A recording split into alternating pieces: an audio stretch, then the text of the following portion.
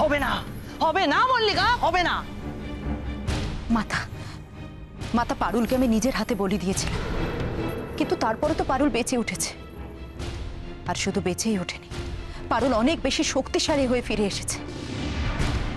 এখন যদি আমি পারুলের সাথে যুদ্ধে নামি, তাহলে তো আমার প্রাণের ঝুঁকি আছে মাথা সবার আগে আমার প্রাণ সুরক্ষিত করা দরকার।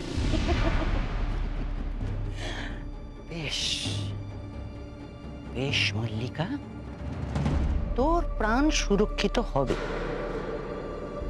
কিন্তু তার আগে তোকে একটা কাজ করতে হবে। বাক্সে রাখা আমার বাকি চুলগুলো আগুনে আহুতি দিতে হবে। আমাকে সম্পূর্ণরূপে ফিরিয়ে আনতে হবে। তবেই তো আমি তোর প্রাণ সুরক্ষিত করতে পারব।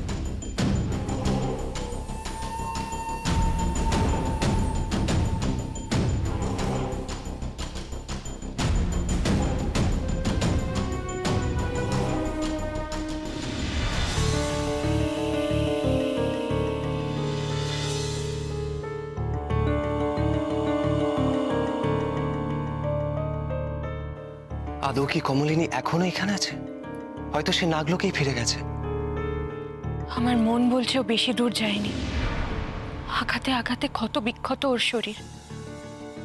আহত শরীর নিয়ে ও নাগলোকে ফিরতে পারবে বলে মনে হয় না।